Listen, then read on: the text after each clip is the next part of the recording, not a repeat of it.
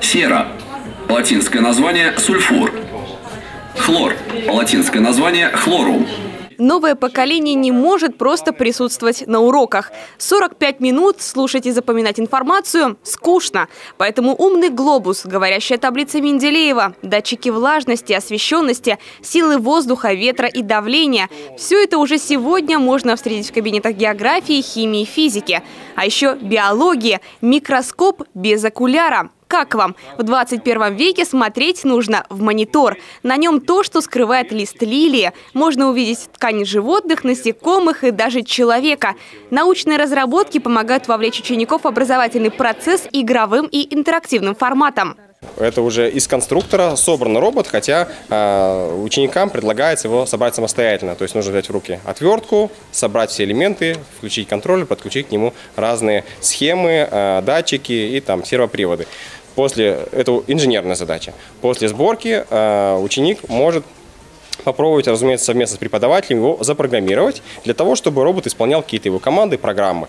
Вот они учатся уже программированию. А с помощью такого, можно сказать, инновационного обучения сразу ясно, кто в будущем может стать проектировщиком, кто исследователем, а кто инженером. К отрасли образования в эти дни пытаются привлечь не только обучающихся, но и широкие массы.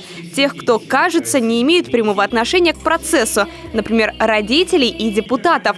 И все это в рамках форумной кампании. Я особо рада приветствовать присутствующих в зале докторов наук, профессоров педагогического, прежде всего, направления. Мы очень рассчитываем, уважаемые гости, что именно вы дадите новые тренды, смыслы и те э, лидерские позиции, которые сегодня занимают учреждения на международном уровне, потому что нам с вами достигать высокую задачу это прежде всего вхождение России по качеству образования в десятку мировых лидеров.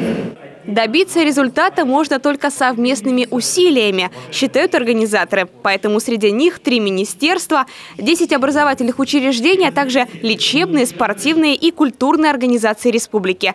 Объединились все, чтобы лучше узнать, в чем же нуждается подрастающее поколение. Для кого мы работаем? Мы работаем для наших детей, а дети это у нас более 100 тысяч детей и молодежи. И, конечно, мы должны понимать, что им надо, то есть чтобы правильно скорректировать свое направление деятельности, чтобы учесть все их э, потребности, чтобы сформировать необходимую среду для их обучения, для их воспитания, для их развития. И, конечно, только сообща мы, услышав друг друга, можем улучшить наше состояние развития системы. Отметим, сегодня треть бюджета Коми уходит именно в образование. А значит, образование и государство в тесной связи и работают сообща, что не может не принести свои результаты. Анна Зубарева, Павел Люлянмин, телеканал Юрган, Сыктывкар.